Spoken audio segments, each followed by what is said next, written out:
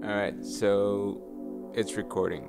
Cool. So you told me that for this project, uh, the first thing we're going to do is to talk about my art, right? All right, cool. Let me just find my lighter. So I'll start by saying that I left Costa Rica to pursue my giant within. Um, what the giant is is this creative willingness that forces us to be vulnerable. You feed it with change and new experiences you know, you, you follow its trace, it challenges you, it tricks you. Um, the giant is a part of you, but always beyond you. And every time you think you find it, is in fact, is at that exact moment that you lost it.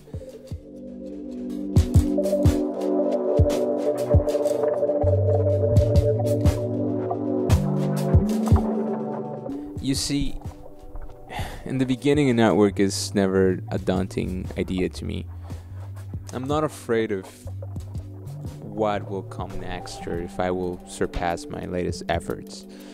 Uh, whatever you will express at the end is just another part of a beautiful, never ending search. And, you know, every artwork you make inspires, you know, inspires future thought and becomes a trace in the only path we know, really, the one we leave behind. I'll be honest, collage artists never start with a blank page in this practice, the material source of our visions is omnipresent, spatially waiting for us to notice or make a connection with it. During our search, every publication is a universe of possibility, therefore, the challenge of collage is not to find images but to recognize your visual power and ability to be reconceptualized. In my practice, I only work with images that are able to shine a light on intimate memories um, I deconstruct their characteristics in an effort to tell my own story and rearrange their form until the final result turns into the eulogy of a romantic moment I experienced. Okay, w- wait a second. I, I need to take this. Alright, sorry about that. Um, yeah, so, you know, it's like reinventing my first kiss with clips from an, an advertising in a 1950s Life magazine. Um, and whether remembering ignites a positive or negative emotion, um, I think any memory worth carrying gives me purpose. Man, talking about purpose smells like Bogota in here. Give me one second.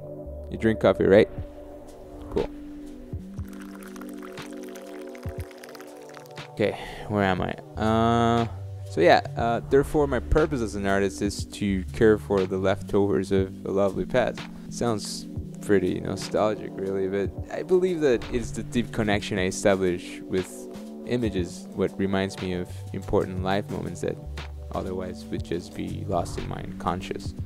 Um, these images make me care about where I come from and how I felt. You know, it's like it's like an album or a journal or something. Um, in the end, I think we all have a giant within you know, every giant is own unknown, um, something you cannot see, you cannot touch. I could say that you cannot even feel it, but is that presence that just looks upon you. It might crush you at moments to lift you at others.